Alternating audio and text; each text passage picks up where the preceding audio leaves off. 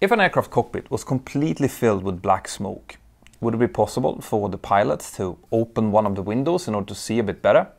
In this episode, I will answer three of your most commonly asked questions about the UPS Flight 6 episode I did on Mentour Pilot, and those are some great questions, so stay tuned.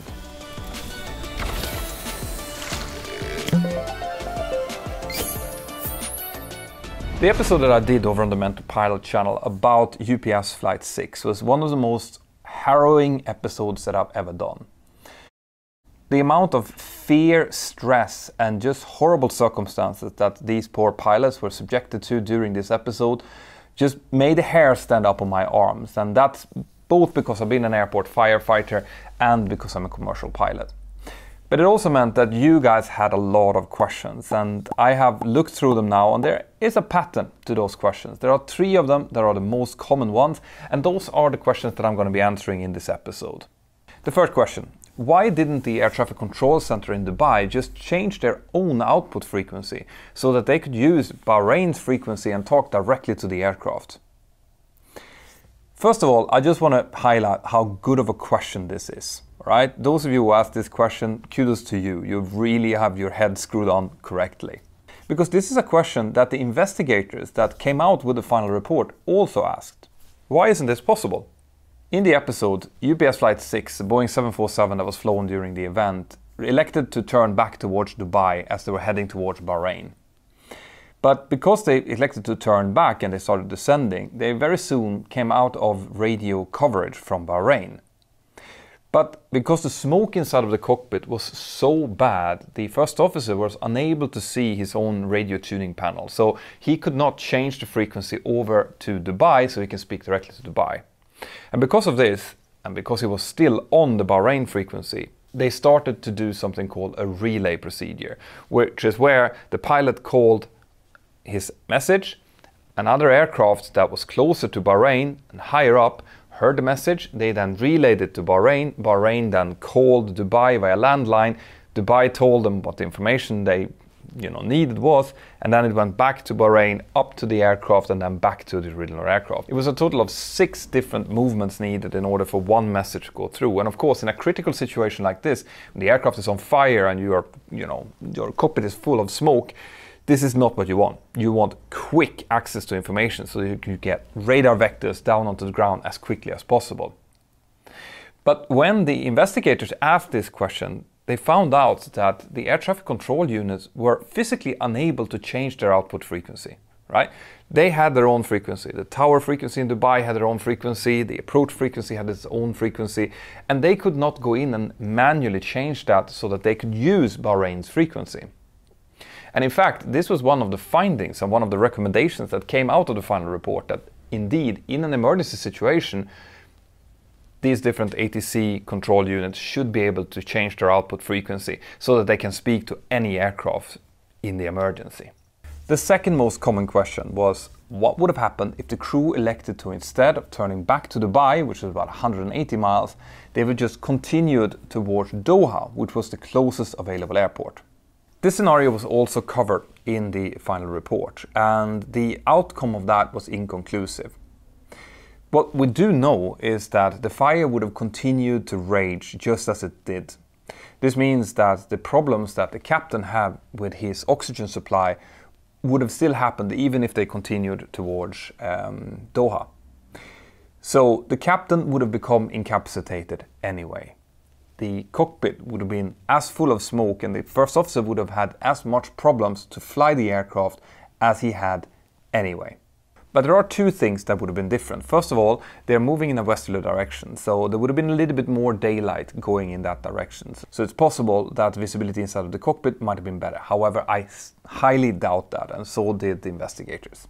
The second thing, which is probably the most important thing, is that if they would have done that, they would have had continuous radio coverage the whole way down. So that means that the first officer wouldn't have had to go through this relay chain to get messages. He would have been able to speak directly to air traffic control on the frequency he was on.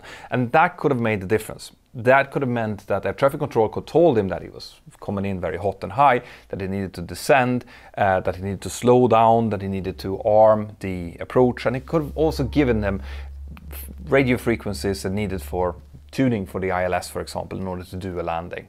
Now, whether or not that would have been successful if he would have been able to autoland, because remember, he would have still had the problems with his manual control. So the only way he could have landed that aircraft effectively would have been through an autoland. If that would have been successful or not, it's impossible to say, and that's what the final report said as well. But with this question comes another question that I just wanted to expand a little bit on. So a lot of people in the comments also asked why would the crew elect to return back to Dubai when it was almost twice as far away as Doha, which was straight ahead. I did talk a little bit about this in the video, but I wanted just to continue to explain that a little bit. Um, the, the, the way that we pilots and all human beings are built is that we tend to always seek the path of least resistance. So this means that if you've just departed from an airport You've just taxied out, you've just talked to those air traffic controllers, you know the runway layout, you also know the uh, frequencies for the instrument landing system, for example. When you are faced with a direct emergency, the path of least resistance is going to feel like going back to what you know. Just to give you an example, imagine yourself driving through town, right? Your hometown. You're driving the same road as you always do.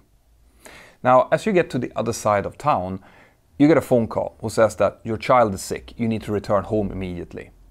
If you had to choose, would you return the road that you knew that might be a couple of kilometers longer? Or would you risk it and take maybe a road through town that you know is shorter, but you're not sure it's going to be quicker and you're not really sure about the way? If you put yourself in that situation, it's going to be much easier for you to understand why a pilot would make that decision. Because in this case, the difference between 180 miles and 100 miles is not as big as it sounds. It goes quite quickly in an aircraft. So yeah, it is twice as far away, but it is likely that the pilot, you know, being in this situation, having a fire in the back and a fire warning in the back, at least that's what they had when they took the decision, is going to want to take the familiar road back. Now, we will never know exactly how they thought. But I, as a pilot, do understand why they took the decision, even if it can turn out sometimes to not be the correct one. Now, the last and by far most asked question was Could the pilots have opened the window or even smashed the window in order to get rid of some of the smoke inside and maybe you know, see better inside of the cockpit or being able to look out through that smashed window and maybe see better? Well, the answer to that question is no and no, you won't. Now, it is a really, really good question though, because on the aircraft that I fly, the Boeing 737 NG, we have the ability to open the side windows, even in flight. Obviously, the aircraft needs to be depressurized because the way that you open the window is that you pull the window in through a lever and then it goes backwards. If the aircraft is pressurized, there is no way you'll have the strength needed in order to move the window inwards. But if the aircraft is depressurized, like it was in the case of the, the UPS 6 flight, well then, if it would have been a 737, we would have been able to open the window. And fun fact about the Boeing 737 is that the nose is actually built so that it creates an aerodynamic bubble over the side window. So that if we do open the window in flight, it will be very, very noisy in the cockpit, but not even a whiff of wind will come in okay and i know this because i've actually done it in real life in the beginning of my career i was in a situation where we needed to open the side window and i can tell you right now i've never been so strapped in in my entire life but we opened it. The aircraft was at a speed of maybe 210 knots so holding speed more or less. And when we opened it like i said it became really really noisy outside but there was no wind coming in. Absolutely fantastic design but on the Boeing 737, we actually have a step in our smoke removal non-normal checklist that tells us that if the smoke has been confirmed to be coming from the flight deck and not from some other part of the aircraft, then as a final step, we can actually depressurize the aircraft, open the window, and that might help. So why is this not a possibility on the 747 then? Well, it's just because the window cannot be open right? The Boeing 747 does not have a window that can be open as part of the cockpit. If the pilot need to have some kind of emergency egress after an emergency landing, they use a hatch in the top of the cockpit to get out instead. So there was no practical way for the first officer of UPS 6 to actually open the window. But then we come to the other part of the question, which is, well, could he not find something and smash the window and that would help? And the answer to that is no. Okay. The cockpit windows of a airliner is built to be able to withstand a bird strike, a pretty large bird strike at fairly high speeds. Right? There's an enormous potential energy that's being transferred onto the windows then. And because of that, it is built up kind of like a sandwich. So you start up with a semi-tempered glass as the outermost pane. And inside of that, you have a heat film that keeps the whole window heated. And that's heated from, you know, from when we are about to start pushback until we shut down the aircraft. It's continuously heated. And that's not just to get rid of ice, it's also to keep the window flexible so that it can take an impact and not shatter easily. Inside of that heat film, you then have a layer of chemically strengthened glass, followed by a layer, of PVB or vinyl, and then another layer of chemically strengthened glass. So you can see that with these layering, it would probably be easier to punch a hole next to the window rather than through the window. Trying to break the window from the inside will not work. Now, I love answering these questions for you guys. Every time that I put a video up on the Mentour Pilot channel and I read through the comments, I see these lovely, thoughtful, intelligent questions. And that makes me want to create more content like this. So please, in the comment section here below, put in what you think about this channel and the format, if you have any questions about anything else, and let's just keep this discussion open. Also, I know that I promised you a live stream, and I have been fiddling around with the Mentour Now channel to be approved for live streaming. It is now approved, so you can expect the live stream to come up very, very soon, and I'm so looking forward to talk to all of you. Now, if you want to have a discussion directly with me face to face, I highly recommend you to become a part of my Patreon crew. I have weekly hangouts with my Patreons on Zoom where we talk about everything. Mostly aviation, of course. They get to ask their questions, but we also talk about what's going on in the world.